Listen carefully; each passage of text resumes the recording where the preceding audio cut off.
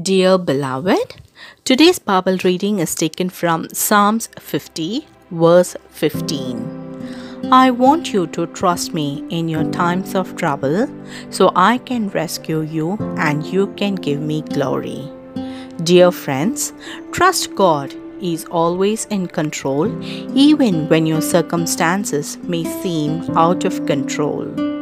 When the righteous cry for help, the Lord hears and delivers them from all their trouble.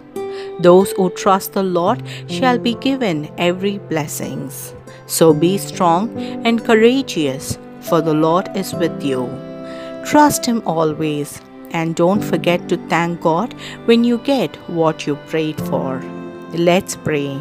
Lord, thank you for this wonderful promise to us. Save us, O Lord, because we have come to your refuge. You are our God. We have no other help but yours.